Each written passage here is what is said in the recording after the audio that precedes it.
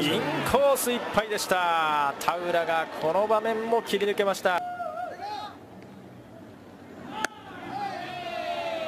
このキースの打球からスタートしたというね。そうでしたね、まあ、小園選手のエラーとかでしたね、ね。結果的にですけどね。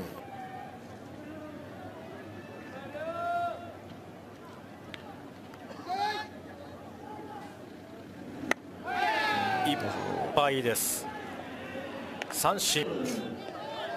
またまた変わってから田浦が2者連続三振です。そしてネイラー。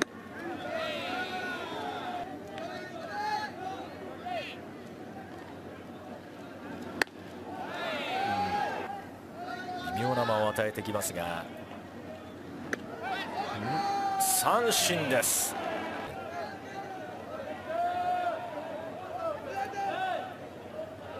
三者連続です。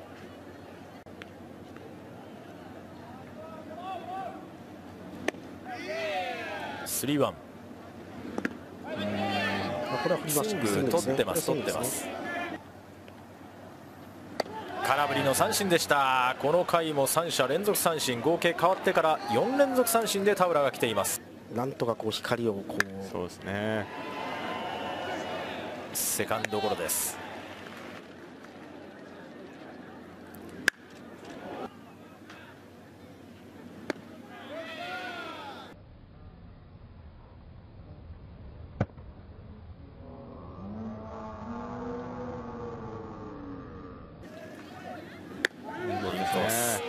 ナイスボール。回った。三振。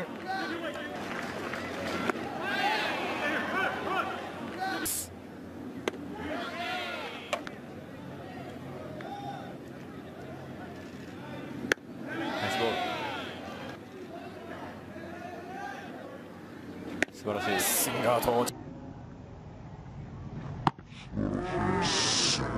チェンジアップでした。